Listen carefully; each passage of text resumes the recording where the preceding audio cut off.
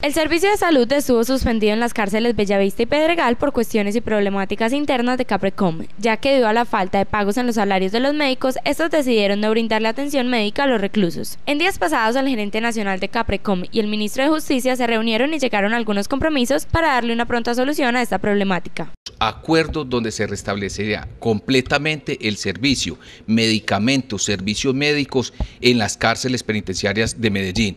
Esperamos que en un mes estén restablecidos los compromisos que allí quedaron plasmados, los compromisos con el, con el Ministerio de Justicia, porque es el Ministerio de Justicia quien ha estado muy preocupado con ese tema penitenciario. El funcionario expresa que es de vital importancia darle un buen bienestar a los internos en salud y servicios. La personería municipal será la encargada de realizar el seguimiento para que realmente se cumplan estos acuerdos en el mes estipulado. Hemos hecho denuncias a la Procuraduría, a la Defensoría del Pueblo, hemos hecho denuncias al Ministerio del Interior, de Justicia, precisamente comunicándoles estas irregularidades en el servicio, servicio que no puede ser suspendido por ningún motivo a nuestros reclusos. El personero de Medellín afirma que se piensa descentralizar los servicios por región para que no haya falta de medicamentos ni la prestación de servicio médico en las cárceles del municipio. Por esto, Caprecom pagará directamente por medio de cooperativas a los médicos para evitar que se vuelva a presentar el mismo incidente. El servicio ya se encuentra en total normalidad en las dos cárceles. El funcionario le hace una advertencia a la entidad. La personalidad estará vigilante de que se cumplan los plazos.